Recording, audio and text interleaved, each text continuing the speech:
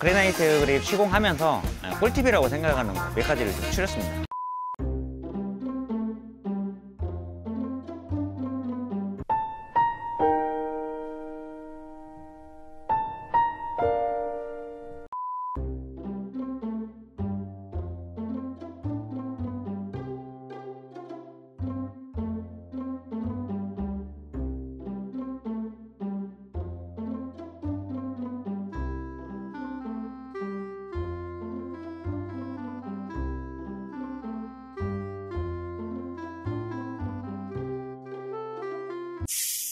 상도 코팅 작업을 할 테고요. 그레나이트 그립 상도 코팅 액상으로 돼 있고 트레이에 담아서 롤러로 시공을 해주시면 됩니다. 지금 어, 비가 좀 오려고 하고 있거든요. 그래서 저희가 외부에 시공하는 이런 어려움들은 다 겪고 있는 것 같아요. 지금 거의 한 달이 좀 다 돼가는 것 같은데 아무튼 빠르게 끝내서 결과물을 한번 보여드리겠습니다. 제가 이제 두 개를 준비했었는데요. 빠른 시공을 위해서 하늘이 지금 자꾸 울려고 하고 있습니다. 그래서 9인치로 하고 트레이 하고 붓 중요한 거 이제 Granite Grip 코팅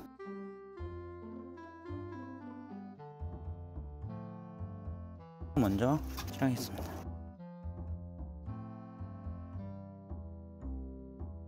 자, 항상 코너 먼저 이제 칠해 주시는 게 이제 롤러가 이제 안 닿는 부위가 있기 때문에 붓으로 칠하는 거거든요. 이게 좀 귀찮을 수는 있어도 선행돼야 됩니다.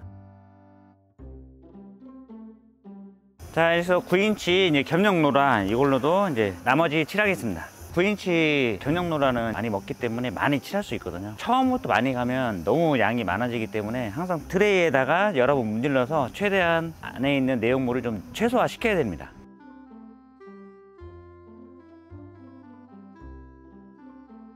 자 Behr 페인트 상도 top 코팅이 왜 필요할까요? 표면에 Granite Grip을 자외선으로부터 오염으로부터 보호하기 위한 top 코팅이거든요. 그래서 이거는 필수는 아니고 선택입니다. 아무래도 칠하게 되면은 Granite Grip을 오래 유지하기 위해서는 top 코팅을 하시는 게 좋습니다.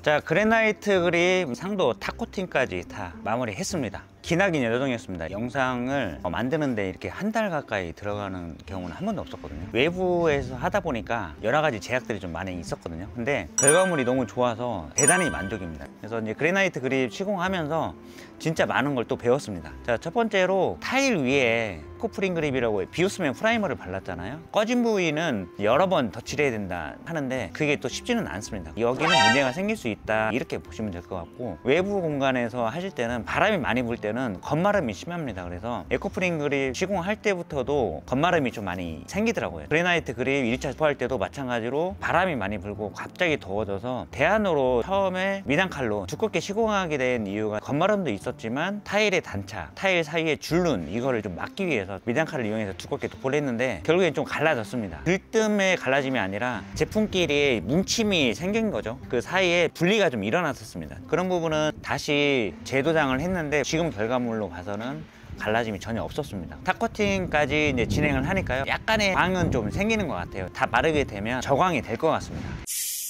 Granite Grip 시공하면서 꿀팁이라고 생각하는 거 몇 가지를 좀 추렸습니다. 첫 번째는 터치해준다는 느낌으로 1차는 도포하시면 되고요. 2차 때 채우시면 됩니다. 꿀팁 두 번째 바람이 많이 불 때는 전용 롤러로 잘 칠해지지 않거든요. 그래서 미장칼을 이용해서 두껍게 한번 도포를 하신 다음에 동그랗게 뿌려놓고 미장칼로 쑥쑥 문질러서 펴 발라주신 다음에 문지르면 평활도도 생기고 문제없이 진행이 됩니다. 그 다음에 세 번째 겉마름이 또 있다 보니까 바로바로 바로 문질러 줘야 됩니다. 코팅도 만약에 트레이에 담아서 방울방울 떨어지면 얘가 문제가 또 생깁니다. 자체적으로 빨리 굳기 때문에 일단 도포한 거는 빨리 정리를 해줘야 된다. 자 그리고 이제 네 번째 꿀팁입니다. 최소 3일은 비가 안 오는 시점에서 하셔야 됩니다. 말린다는 하루로 보시면 되고요. 두 번째 날은 칠한 한다. 그 다음에 3일차는 말린다. 이렇게 보시면 될 것 같습니다. 탑코팅은 어차피 선택이잖아요. 하면 오래 보존할 수 있기 때문에 그건 선택입니다. 저희는 악조건에서 해도 이 정도 결과물을 만들어냈습니다